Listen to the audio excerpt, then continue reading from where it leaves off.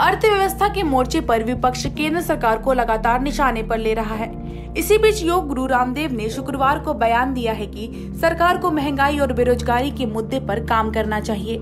योग गुरु रामदेव ने शुक्रवार को प्रेस कॉन्फ्रेंस कर साल 2020 के लिए अपने एजेंडे को सामने रखा।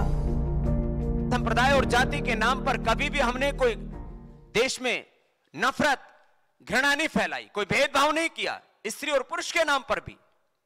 आज देश को इसकी आवश्यकता है और देश के सामने चुनौतियाँ हैं कि हम सभी प्रकार के भेदभाव को देश से मिटा करके सबको समान रूप से आर्थिक समृद्धि के अवसर मिले सबके जीवन उन्नत हो और देश में जितना भी चाहे वो आर्थिक रूप से चाहे सामाजिक रूप से चाहे राजनीतिक रूप से जो अन्याय है किसी भी प्रकार का शोषण है उस भेदभाव को दूर करके सबको बराबरी से जी, देश में जीने का हक मिले और देश के हर एक नागरिक को इतने गौरव के साथ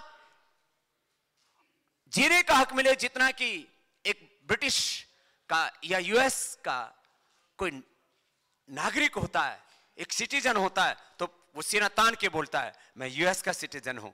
अब पतंजलि और रुचि सोया का आप दोनों का देखेंगे तो ये अभी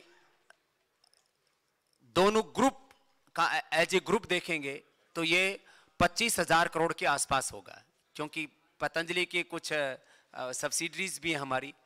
चाहे वो हमारी डेयरी है, चाहे हमारा पतंजलि ग्रामोद्योग है, या हमारा परिवहन है, ऐसे कुल मिलाकर के दोनों पच्चीस हज़ार करोड़ इस बार के फाइनेंशियल ईयर में पहुँच जाएँगे। और अगले फाइनेंशियल ईयर में, मैंने कहा, वो करीब तीस से चालीस हज़ार करोड़ के बीच में होंगे। माने अभी तक एफएमसीजी में यूनिलिवर नंबर वन हुआ करता था।